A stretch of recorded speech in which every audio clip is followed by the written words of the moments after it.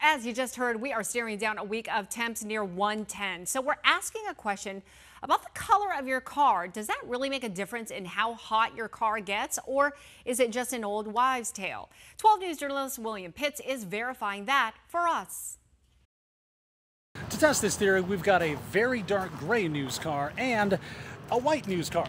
We'll see which one gets hotter in the sun faster. We put both cars in the shade at the same time. Their temperatures were about the same. We've got one thermometer in this car and a remote sensor in this car. Then we waited for the sun to come over so both would heat up at the same time. These cars have been sitting outside for about a half hour now. It's time to take a temperature. The white car's roof comes in at 121 degrees. And the dark gray or black car comes in at 153 degrees. Now the really big one, interior temperature. The inside of this white car is black and there is no sunshade. So let's take a look here. Temperature inside on that center console, 111 degrees. Let's compare that to the inside of the black car, which also has a black interior.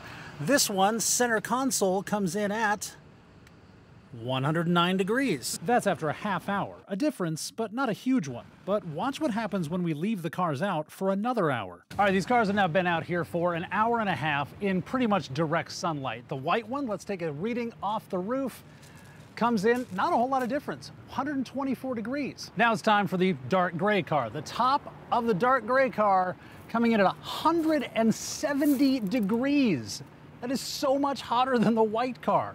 So let's check the inside of the car. Remember, black interior. We've been testing the inside center console here, which comes in at 121 degrees. Again, center console, we measure that at 122 degrees. Not a whole lot of difference. So the interior seems to top out at about the same. But remember that thermometer we put in the car? Take a look at this. This is the white car, 115 degrees. The dark gray car, 123 degrees. Still, both of those are hot, but that's a big difference. So we can verify, yes, the color of your car does appear to make a difference when it comes to the heat. We checked with industry experts at iSeeCars.com. They analyze car sales in Arizona by month, and Arizonans are not buying more white cars during the summer. The color spread stays consistent the entire year, and more white cars are sold all the time.